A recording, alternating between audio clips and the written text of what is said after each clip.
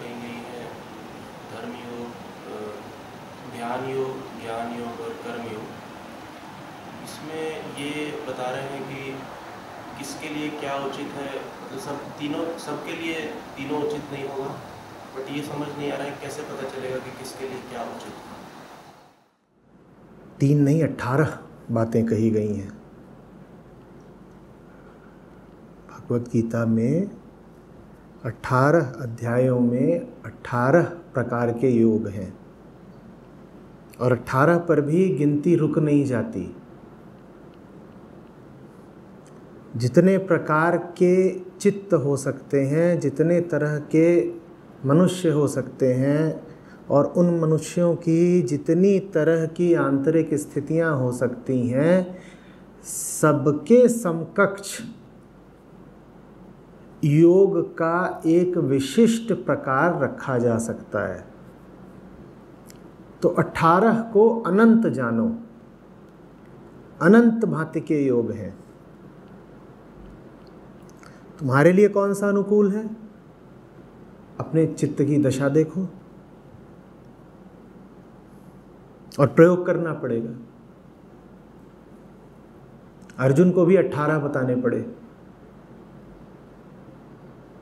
वो भी तब जब सामने विशेषज्ञ बैठे हुए थे।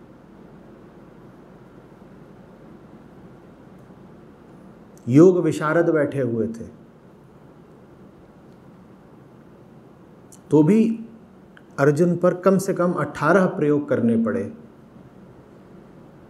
तब जाकर कुछ आधी पौनी बात बनी।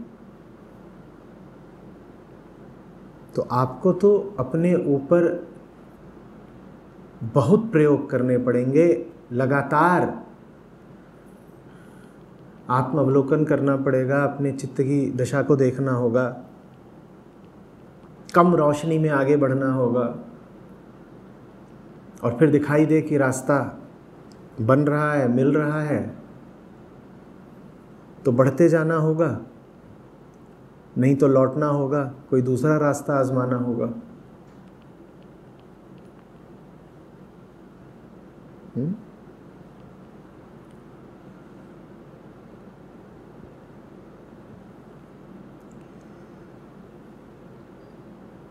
सूत्र ये है कि समाधान समस्या में ही छिपा होता है।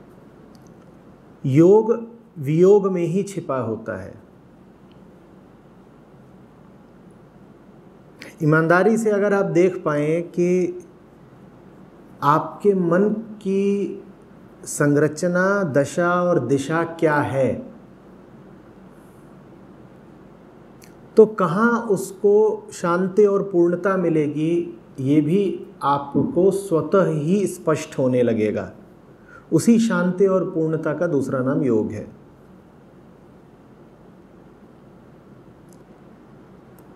कौन सा योग अनुकूल है आपके लिए ये जानने के लिए सर्वप्रथम आपको स्वयं को जानना पड़ेगा। और स्वयं को जानने से मेरा मतलब है अपना चित्त, अपने कर्म, अपने विचार, अपने भाव, इनके प्रति बड़ी सत्यता रखनी होगी। खुल करके जानना होगा कि जीवन में चल क्या रहा है